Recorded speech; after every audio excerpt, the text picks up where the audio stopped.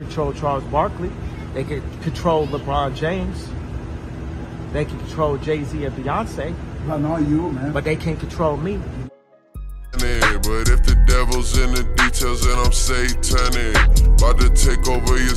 I made sacrifices, I've been balling ever since. What's up, family? Welcome back to UTL TV. And today, y'all know I had to give my conscious perspective on this Drake and Doja Cat situation. You see, they dropping on the same day, September 22nd, which is a very spiritual time. You know what I'm saying? It's a moon harvest. And in my last video, I was breaking down about Doja Cat. I explained how she and Drake both are agents and groomed for the industry to push certain agendas. They both come from Jewish mothers Therefore, they are able to carry on the bloodline of their people.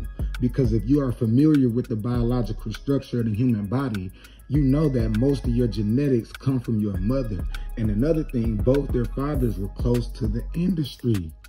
I knew that I knew that something was coming between those two, you feel me? Because of the simple fact they are two of the biggest stars in the in the industry right now. Two of the biggest stars in the industry that's buzzing. Drake with the All the Dogs uh, album coming out, which really means all the gods. Pay attention, man. And along with Doja Cat and her Demonic Spider album named Scarlet. And we already broke down about Scarlet being the um the mother of abominations. You feel me? Um the the mistress of Satan himself. You know what I'm saying? I broke that down in the last video as well. And if you hit to astrology, you know that they are releasing these albums during the moon harvest, like I told y'all, so that they can harvest the energy from the masses. The moon affects your emotion, right? And emotion is energy in motion. And with it being a moon harvest, they will be using the powerful frequency of music to draw in your energy by using low vibrational beats and blasphemous demonic lyrics.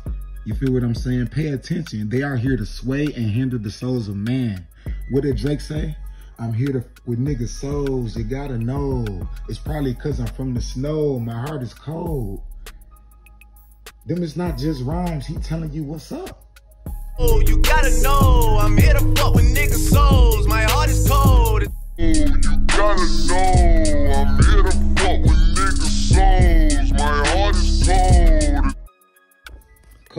Pay attention. These artists are high level occultists using quantum physics to manipulate matter. What is matter? Energy, protons, neutrons. These are some of the fundamental building blocks of nature. That's why I always encourage y'all to get into physics, particle physics, quantum mechanics, all that. This is how you defend yourself against the Hollywood psyops. Protect yourself against these spells being casted broad and far across the land. Pay attention. You feel me? This is all God's doing, man, you can't plan it. But if the devil's in the details, then I'm satanic. Details, then I'm satanic. And I'm convinced. I make sacrifices, I've been balling ever since. We seeing so many. Why you think they call it a broadcast? Because they are casting spells through the media. Who is the media? Ancient Greek goddess that used to cast hallucination spells. You feel what I'm saying? Pay attention. Do your research. And they and they and through the media they using puppets like Drake and Doja Cat. And if you have any kind of discernment, you know that Drake has been pushing this satanic agenda for years now. I remember when I when I heard that song Sacrifices, I knew right then and there he had sold his soul. And around this time, I was heavy into gematria and, and Drake come on like wrote this January 21. Sorry girl, I gotta run. I'll be back a couple months. Kendall turned 21. Was up the street with 21. Why did he say, why did he, you know what I'm saying? Why did he write the song on January, January 21st? Because 121 in gematria is blood sacrifice. Pay attention. Not to mention, he said 21 three times consecutively. 21 times three is what? 36. Three times three sixes, right? Pay attention to the numerology at all times. Not to mention that six God equals 336 in reverse Sumerian reduction as well. Pay attention. What Rick Ross say uh, in that in that Freemason song? I embark on life. My path is all math. I'm gonna continue to let y'all know what's up, man. He's referring to to the supreme mathematics of the universe. This is how you tap into the astrological side.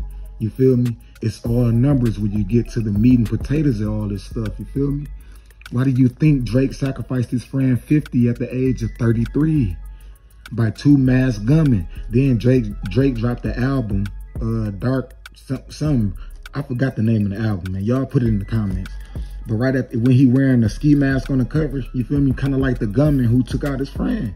Subliminally letting us know his involvement. Allegedly. You know what I'm saying? We're to put allegedly on there. But not to mention his name, Drake equals 33 in reverse reduction cipher as well. Pay attention. Too many coincidences, man. Too many. Remember, I was mentioning the uh, the number 36. Well, Drake will be 36 when this album is released. You feel me? Just like his first name, Aubrey, Aubrey equals 36 in reverse reduction. Also, Toronto equals 36 as well. And I personally feel like there's a blood sacrifice coming because Doja Cat and Drake both share that 121 in their birthdays. And you can excuse the zero when dealing with gematria. They hold no numeric value at all.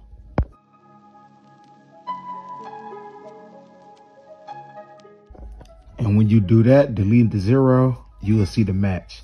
And before we get out of here, I want to mention the fact that Doja Cat is 27 years old. So she owes a sacrifice, so she will become a sacrifice. You feel me? Because in Gematria, 27 equals what? Sacrifice in a reduction cipher.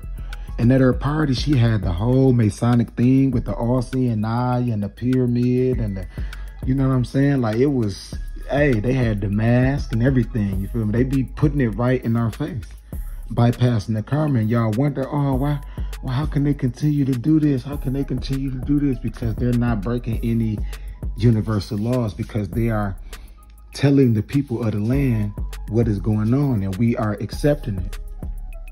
You get what I'm saying?